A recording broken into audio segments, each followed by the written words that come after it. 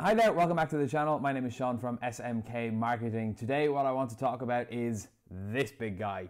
This is going to be a long-term review of the 16-inch M1 Pro MacBook Pro from 2021.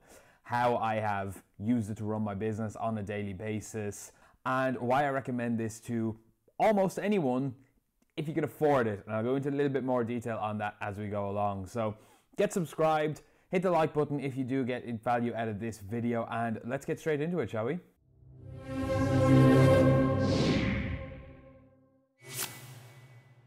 So then, what is it? Well, this is the 2021 16 inch. It comes in essentially the base spec with the M1 Pro chip, which has a 10 core CPU, a 16 core GPU, 16 gigabytes of unified memory, and a slightly upgraded 1 terabyte of internal storage.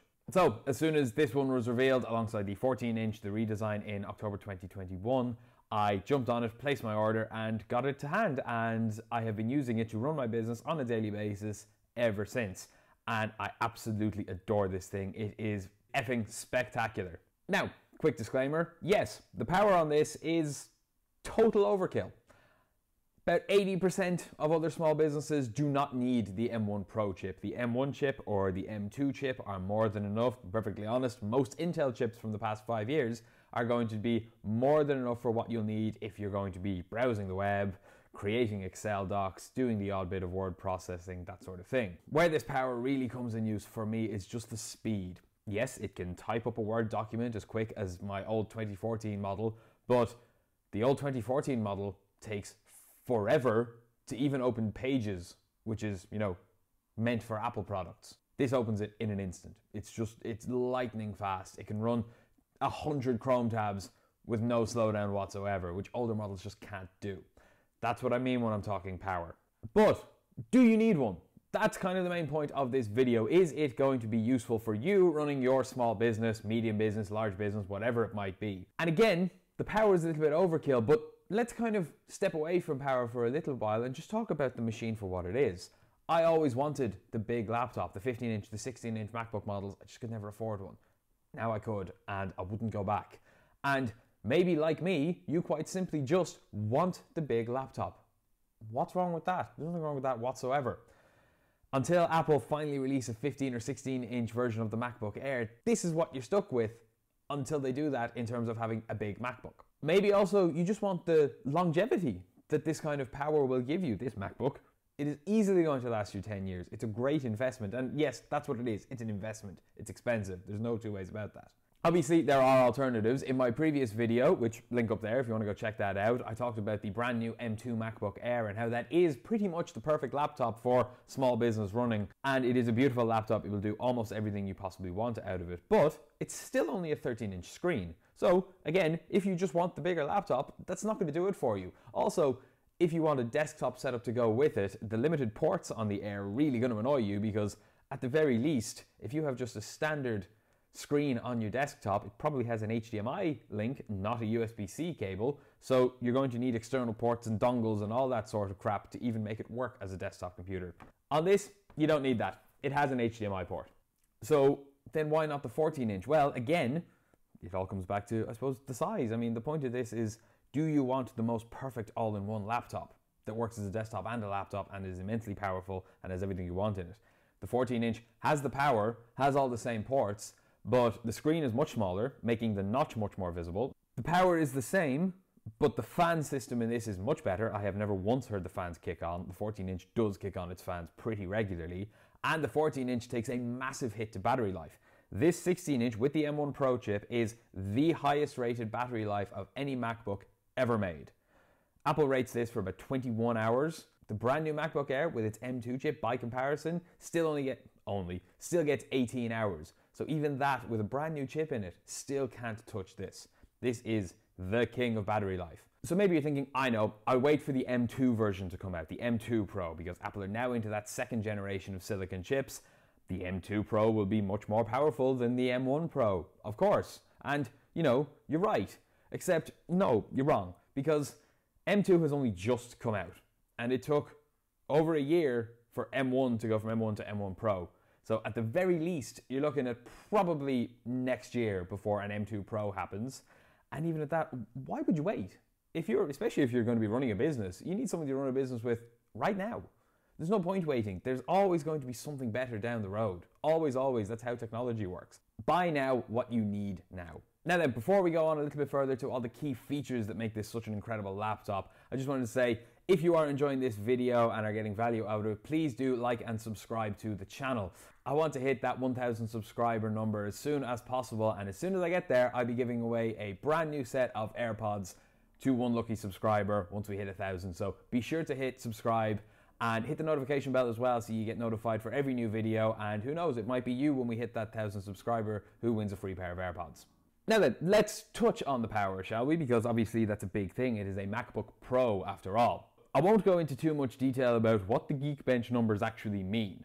I will flash these graphs up right now, but all you really need to know about them is that what these graphs show is that this laptop, and that's a really important thing to remember, is as powerful, if not regularly more powerful and faster than the iMac Pro, which costs at least twice as much when it was new, and the Mac Pro, which costs three times as much at its base level when it was new. I could be video editing multiple layers of 4K footage for a client, have 20 Chrome tabs open, 10 Safari tabs open, every app in the world open, Stage Manager running it all, and it won't slow down at all. The fans won't kick on. It might get a little bit hot, although I have it sat on a desk, so I'm not touching it anyway. But the fans won't spin up, you won't hear it, and it'll still breeze through all of those tasks without slowing down ever. And again, this is just the base model. Obviously, then there is the brand new design. When Apple released this in the 14 inch last year, they went back to basics. They essentially updated the 2015 version, which a lot of people say is the best MacBook ever made. And they essentially, like I said, updated it. They brought back the more squared off design. It's not very rounded anymore. It's much flatter, where the 16 to 21 models tapered inside to make them look thinner than they really were. And where those models had only had only two to four USB-C ports, which was really annoying, this has everything you need. One, it has MagSafe again. Why they ever got rid of that, I'll never know, but they brought MagSafe back and this can rapid charge it, which is amazing. So one, you don't have to waste one of your USB-C ports to charge it. You still have three and they're Thunderbolt 4, so you've got two on this side and one on this side. You've also got a high impedance headphone jack, and most importantly, you have an SD card slot back and HDMI back. You also, of course, get the stunning 16.2 inch XDR display with 120 Hz ProMotion. And you can also get Stage Manager now with macOS 13, which will be coming out soon. This is the beta version of it, which I'm convinced was designed for the 16 inch screen. On the iPad Pro, the 11 inch that I have, I don't really use it that often. The screen's a bit too small. On the 13 inch and 14 inch versions of the MacBook, it's still a little bit too small. There's still quite not quite enough screen real estate for Stage Manager, but on the 16 inch, it's perfect. I have my menu bar there and I have all of my open tabs here and I still have all of this big comfortable space to work off.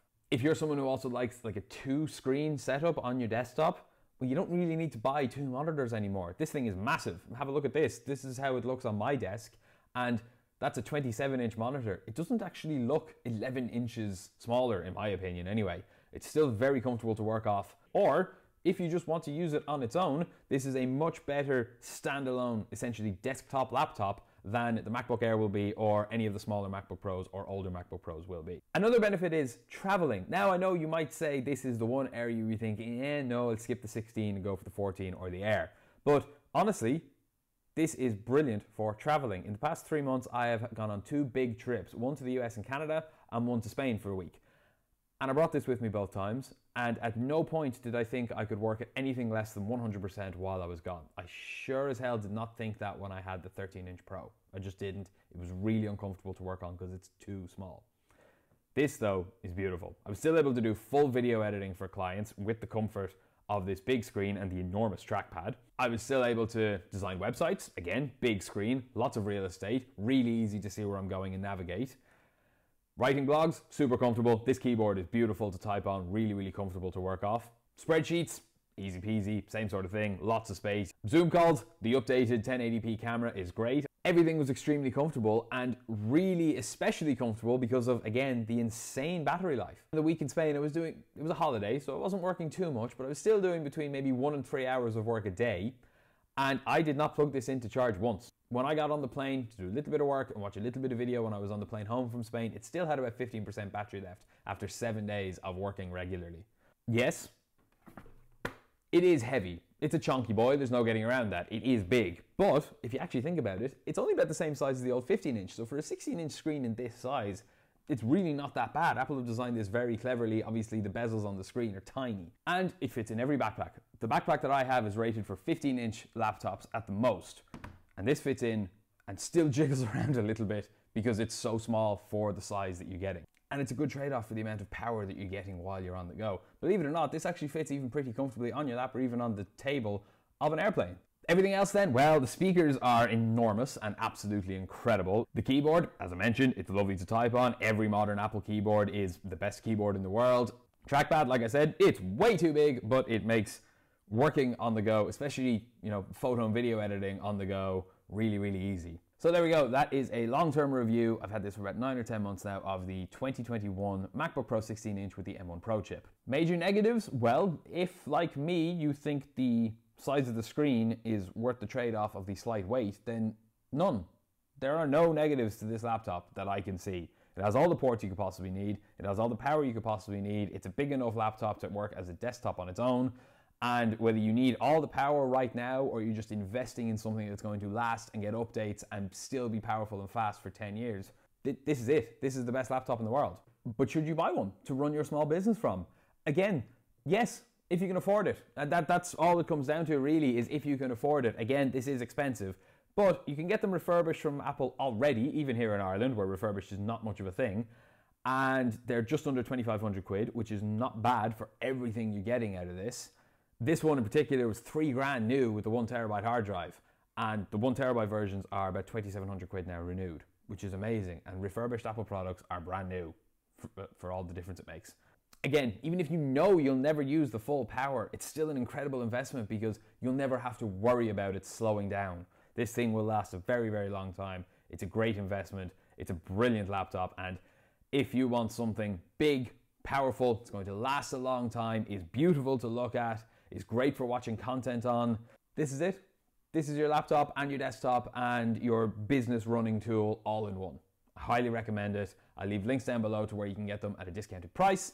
And yeah, that's all there is to say about it. Thanks very much for watching. I hope you enjoyed this video. If you did, please let me know in the comments down below. Don't forget to like and subscribe. Again, I'll be giving away a pair of AirPods once I hit a thousand subscribers, so do hit that bell. Thanks as always for watching. I have been Sean from SMK Marketing. We'll see you in the next one.